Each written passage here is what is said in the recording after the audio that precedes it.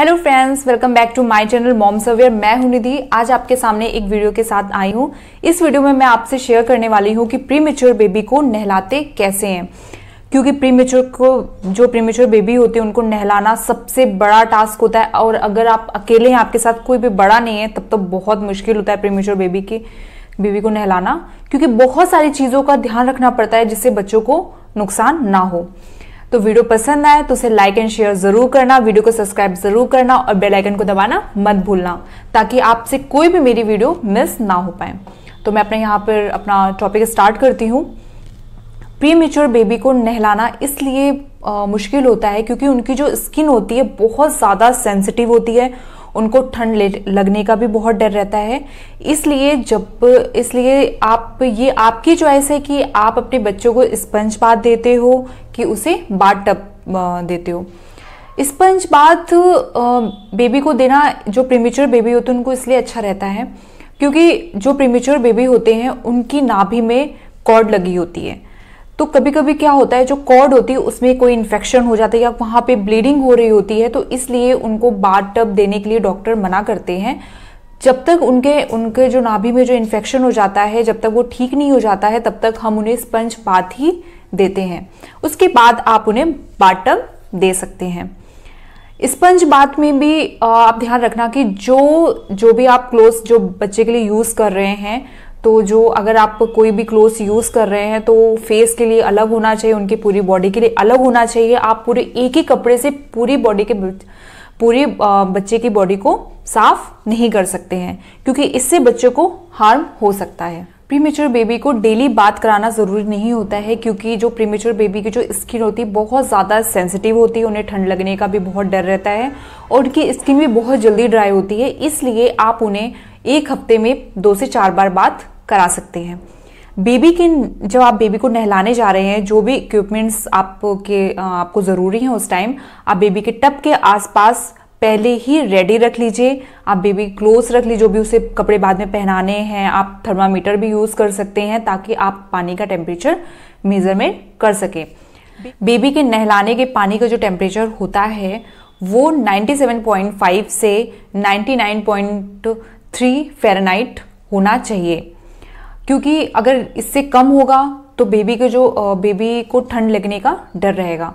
और बेबी के लिए जो भी आप क्लोथ यूज़ कर रहे हैं, उसका फेस साफ़ करने के लिए, उसकी पूरी बॉडी साफ़ करने के लिए, वो सारे आपके पास होने चाहिए। क्लीन टॉवल होनी चाहिए हैट होनी चाहिए, जो कि आप बेबी को नहलाने के बाद उसके सर में पहनाएँगे।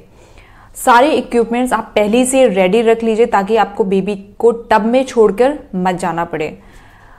जहाँ जहाँ पर आप बेबी को नहला रहे हैं, उसके रूम का टेम्परेचर भी वार्म होना चाहिए, जिससे बेबी को ठंड ना लगे। बहुत सारे स्टेप होते हैं बेबी को नहलाने के। बहुत सारे लोग अपने अपने तरीके से नहलाते हैं, लेकिन अगर एक राइट स्टेप फॉलो किया जाए तो जिससे बेबी को भी प्रॉब्लम नहीं होती और आपको भी प्रॉब्लम नहीं होगी बेबी को नहलाने में। तो मैं यहाँ पे बताऊँगी कि कौन से स्टेप आपको फॉलो आप फॉलो करें जिससे बेबी को प्रॉब्लम ना हो। अगर आप बेबी को स्पंज बाथ दे रहे हो या उसे बाथ टब भी दे रहे हो तो बेबी का जो फेस होता है, वो डायरेक्ट पानी से आप ना साफ़ करके एक उसके लिए क्लोज रख लें क्लीन ब्लो क्लोज होना चाहिए। उसको आप वार्म वाटर में वेट कर लें। फिर बेबी के जो जो आप क्लोथ यूज़ कर रहे हैं, उसका जो एक कॉर्नर से आप बेबी की आईज साफ़ करेंगे। आईज को कैसे साफ़ करना है? इनर से आउटर कॉर्नर बेबी के आईज को साफ़ करना है। फिर जो आप, जो कपड़ा आप यूज़ कर रहे हैं, फिर उसके दूसरे कॉर्नर से बेबी की दूसरी आइज़ को साफ़ करना है। आप एक ही कॉर्नर से बेबी की दोनों आइज़ को साफ़ नहीं करिए। फिर जितना बचा जितना कपड़े का जितना पोर्शन बचा है, उससे आप बेबी का पूरा फेस साफ़ कर सकते हैं। लेकिन आप डायरेक्ट पानी से मत साफ़ करिए, क्योंकि जो कभी कभी क्या होता है, आपने बेबी के फेस में पानी डाला, लेकिन बेबी प्री मेच्योर बेबी की ब्रीदिंग पावर जो होती है, वो इतनी ज़्यादा स्ट्रांग नहीं होती। हो सकता है उन्हें सांस लेने में प्रॉब्लम हो जाए। इसलिए आप पहले कपड़े से एक क्लीन कपड़े से आप बेबी के फेस को साफ़ कर दीजिए। उसके बाद बेबी के जो ईयर होते हैं, उनकी जो फोल्ड बैक में जो फोल्ड्स बने होते हैं और जो उनका नेक होता है, उसमें आप पानी से उसको साफ़ कर सकते हैं। वहाँ पे आप सोप का यूज़ कर सकते हैं। आप फेस वॉ जब आप बेबी का फेस वॉश कर रहे हैं, उसमें आप कोई भी सोप मत यूज़ करिए। लेकिन आप जब आप बेबी का नेक और ईयर साफ़ कर रहे हैं, वहाँ पर आप सोप का यूज़ कर सकते हैं। लेकिन आप ध्यान रखें आप बेबी को आप बेबी के लिए वही सोप यूज़ करें जो केवल बेबी के लिए ही बने हो। क्योंकि उसमें क्या होता है, उसमें केमिकल कम होता है। उसके बाद आप बेबी की पूरी बॉडी को साफ़ करिए और आप पूरी बॉडी में बेबी के बेबी के लिए सोप यूज़ कर सकते हैं। फिर पूरी बॉडी आपने साफ़ कर दिया। सिर्फ़ लास्ट में फिर बेबी का आप हेयर साफ़ करेंगे।